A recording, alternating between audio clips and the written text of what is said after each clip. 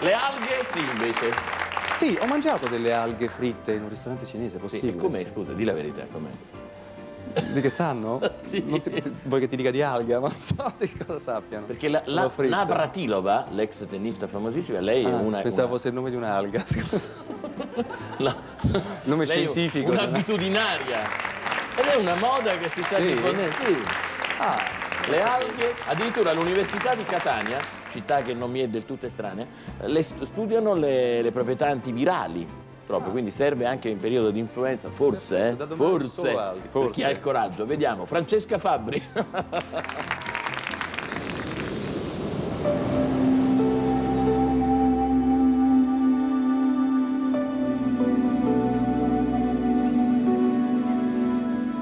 Dulce, kombu, wakame, salad ocean, nomi esotici e musicali delle sconosciute e affascinanti piante del mare, dalle potenzialità e dalle forme svariate. Ma oggi andremo alla scoperta dell'universo delle alghe con Fabio Consonni e sua moglie Wanda. Tutto il buono delle alghe.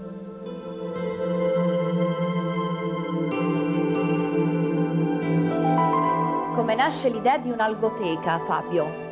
Innanzitutto eh, la gente pensa normalmente che le alghe siano qualcosa di appiccicoso, di fastidioso. Eh In sì. realtà eh, hanno delle potenzialità straordinarie con le quali si possono fare appunto dei prodotti alimentari o dei prodotti per la cura del corpo.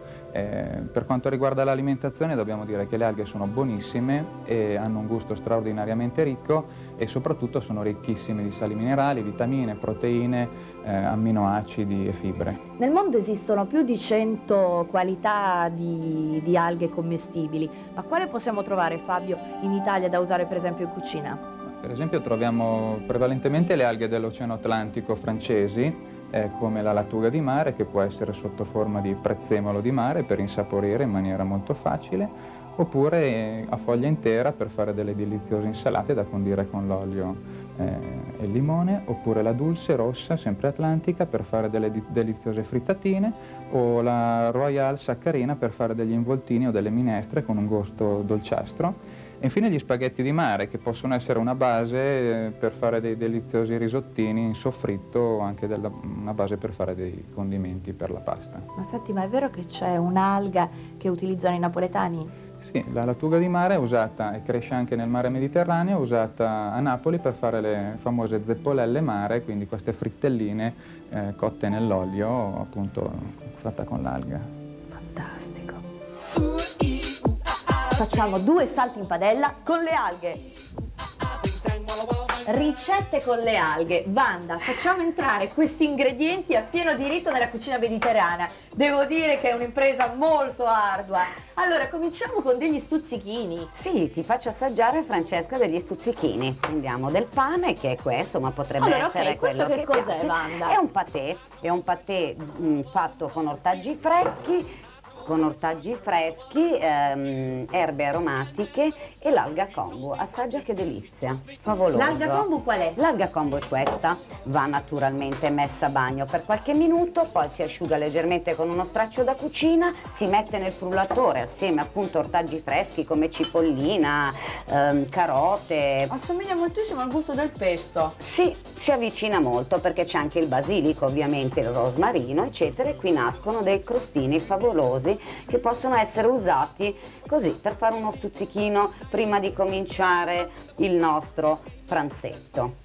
Io butto la pasta, Wanda, eh, Sì, così sì, l'acqua buttala bolle. pure, butta pure la pasta. Eccoci qua. Ma tu l'hai preparato un sughino per questi Eh spaghetti? certo, e adesso ti dico come l'ho preparato. Basta fare il semplice classico soffrittino con la cipolla, Sì. eh, l'olio e dopodiché butti il pomodoro, che può essere il pomodorino fresco, la passata, il pelato, quello che preferisci. insomma. Ma qui le alghe dove sono? Eh, adesso Eh. le mettiamo. Le Eh, alghe vanno messe naturalmente a cottura quasi ultimata, Francesca, perché altrimenti se noi le facciamo cuocere troppo, cosa succede? Perdiamo tutte le proprietà dei minerali. Allora, gli spaghetti sono quasi pronti, Gli li spaghetti sono quasi pronti, quindi facciamo così. Questa è la salad ocean, eh? è un misto di dulce, nori e lattuga. Le mettiamo un pizzico per insaporire, giriamo e il nostro sughetto alle alghe è pronto.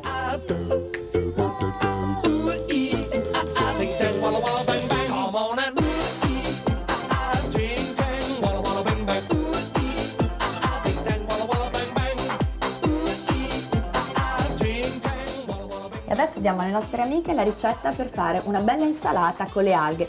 Ma prima di partire con gli ingredienti, quanto costano le alghe? Ma questa è un'insalata tricolore, come vedi, bianca, rossa e verde, insalata all'italiana, quindi insalata alla mediterranea e per, questa è una dose per 6 persone, sono alghe disidratate, naturalmente vanno messe a bagno e costa circa 12.000 lire. Mettiamole a bagno e Ma procediamo certo, come una normale insalata. Come una quindi. normale insalata la mettiamo a bagno, poi la sciacquiamo bene mm, e la lasciamo un 5 minuti che si rapprende.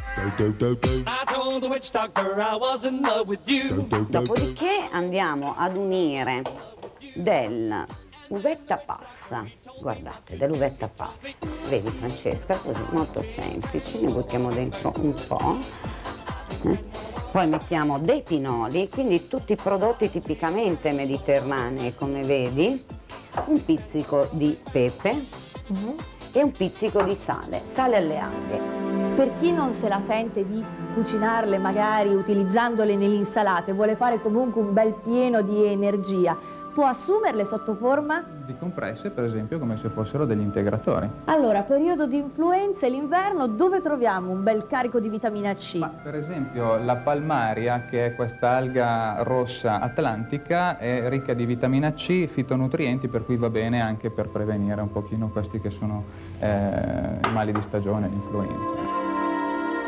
Fabio e Wanda tre anni fa sono stati uniti dalle alghe, perché anche il tuo bouquet era Alle alghe. alle sì. alghe. Allora, le alghe, Wanda, sono da sempre alleate preziose della pelle. Che consigli possiamo dare? Utili, famosi, rimedi della nonna alle nostre amiche che ci seguono da casa? Sì, per esempio possiamo vedere una maschera per il viso decisamente economica preparata con queste foglie di alghe kombu che vanno messe naturalmente a bagno in acqua tiepida, poi vanno leggermente strizzate così e dopodiché appoggiate sul viso, stese molto bene sopra il viso, così, per una quindicina di minuti. Quanto costano?